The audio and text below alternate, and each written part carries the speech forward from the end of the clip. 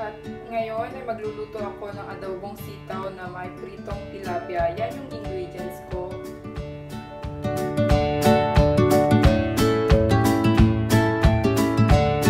Start na tayo. Ipiprito ko muna yung tilapia. Ah, ito yung kawali. May ah, mantika na siya. Pinapainit ko lang. Ah, Nilagay yung tilapia kasi may na uh, mantika natin.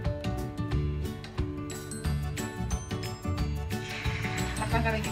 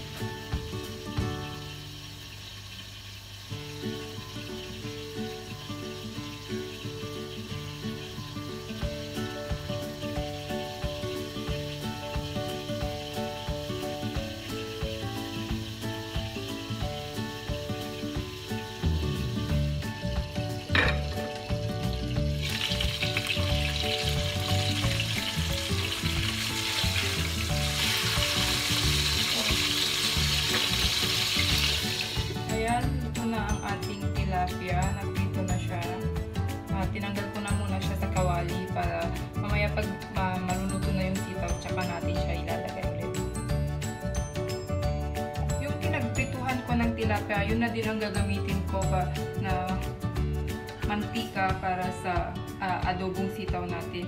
Una ilalagay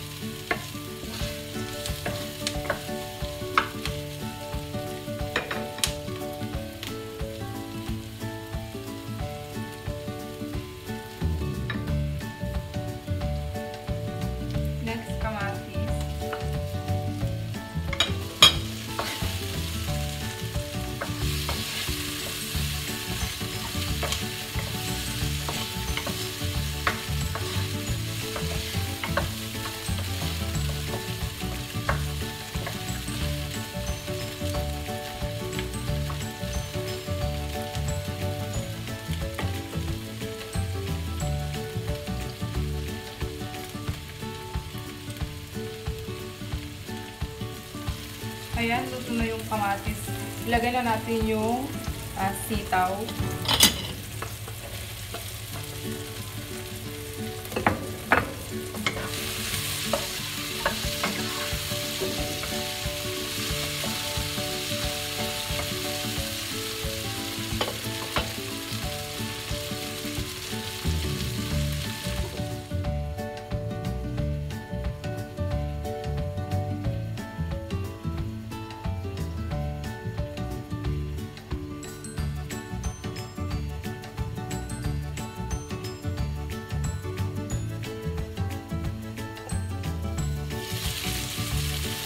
Ayan, lalagyan ko siya ng kalahating basang tubig.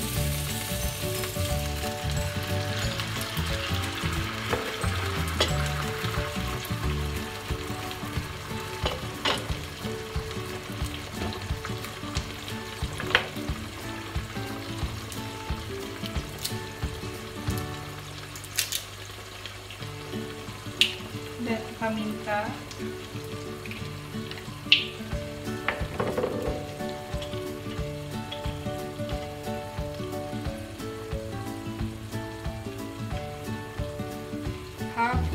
tablespoon na suka or vinegar.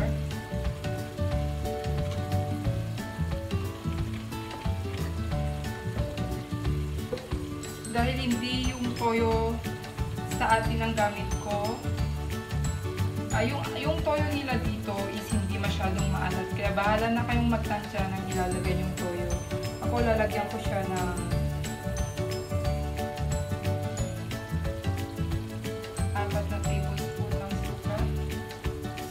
Ay, toyo.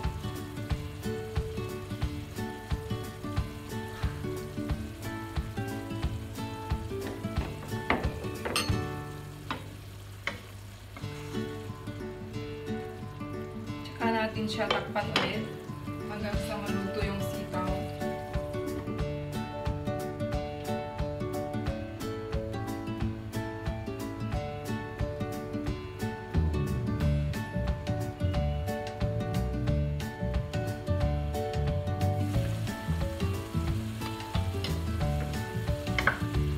Ayan, luto na yung sitaw.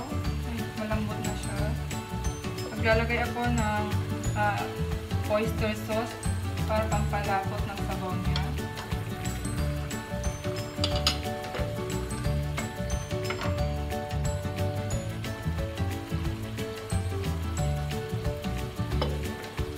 Titikman natin kung anong lasa. Kung may lasa na siya. Ayan, pwede na siya. Pwede nating ilagay yung ah, tilapia. And then, antayin lang nating ah,